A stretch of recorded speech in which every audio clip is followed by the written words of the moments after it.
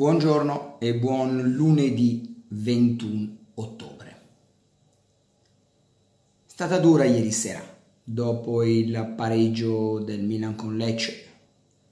Milan che era andato in vantaggio, raggiunto in vantaggio all'ottantesimo minuto, realizza un bellissimo gol grazie a un tacco delizioso di Cialanoglu e il gol alla Piontek di Piontek. Sembrava finito, il Milan pur con qualche affanno sembrava controllare, poi è arrivato il pareggio con un gran tiro molto bello di Calderone che ha infilato Donnarumma. Ho voluto rivedere l'azione ieri sera, questo passaggio tutto sommato hanno detto Suso ha, ha dato un pallone a Biglia, Biglia l'ha perso, ma poi la palla è andata tutto da un'altra parte, quindi non è che sia stato Biglia a perdere un pallone, è andato tutto da un'altra parte. Lì Hernandez, stanco come Biglia, non è riuscito a controllare la palla, che è tornata ancora centro, verso il centro del campo, vicino all'area. Calderoni ha indovinato un bellissimo tiro. Allora ho rivisto questa azione, mi sono rimesso per non andare a letto. Ho rivisto per l'ennesima volta il buono, il brutto, il cattivo mi sono messo lì sdraiato e svuotato, sdraiato e svuotato. E per consolarmi ho rivisto ancora il buono, il brutto e il cattivo, film di Sergio Leone che ho visto al cinema Missori una vita fa, negli anni 60. Non so più che cosa pensare, sono cambiati allenatori, dirigenti, giocatori. Eppure il Milan pareggia con Lecce, pareggia col Frosinone, perde col Benevento, o pareggia col Benevento e perde col Frosinone, pareggia col Carpi. Incredibile, una partita che il Milan doveva vincere, ha giocato anche bene nel primo tempo, mostrando un gioco veloce, però c'è qualcosa che non va nessuno riesce a capire che cosa non vada. Gli stessi errori, le stesse paure, con mille allenatori diversi, con mille proprietà diverse, con mille giocatori diversi. Perché il Milan che pareggia 3-3 col Frosinone, Milan di Brocchi erano ben lontani. Sono passati anni da quel Milan che pareggia 3-3 col Frosinone eppure pareggia 3-3 col Frosinone come ha pareggiato 2-2 con Lecce. Brocchi non c'entra nulla con Pioli, c'era, mi sembra, Balotelli e il Milan pareggia con Lecce.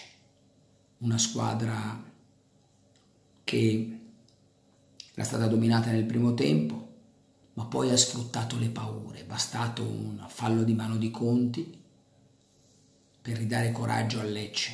Poi si dirà che Lecce abbia giocato un buon secondo tempo. Io non ricordo parate di Donnarumma, ricordo un palo di Cialanoglu, ricordo un tiro che ha sfiorato il palo di Cialanoglu, ricordo un'occasione di Leao. Quindi anche nel secondo tempo meno brillante che nel primo, ancora delle occasioni. Era il Lecce, che ha comunque mai mollato, venendo avanti anche con tentativi interessanti ma che non avevano mai impensierito il portiere Donnarumma. C'è qualcosa che non va, non riesco a capire che cosa. Squadra paurosa, ma non, non sono gli stessi giocatori che hanno pareggiato 0-0 col Carpi. Eppure le stesse paure, le stesse insicurezze. C'è qualcosa che non riesco a... che sfugge che sfugge ad allenatori, giocatori e dirigenti, questa paura, questa, questo, questa, questa cosa esoterica che circonda il Milan. Sì, via Suso, basta biglia.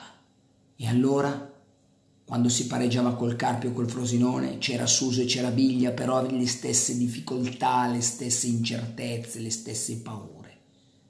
È questo che che che, che mi tormenta, perché non riesco a capire che cosa ci sia. Solo i giocatori? Può darsi tutti scarsi, tutti un disastro, Ci sono 15 nazionali nel Milan, tutti un disastro. E c'erano anche gli anni scorsi nazionali, ma tutti un disastro e siamo ancora qui a vedere un Milan al dodicesimo posto con 10 punti, 3 vittorie e un pareggio 4 sconfitte se non erro. Non se ne esce, non se ne esce.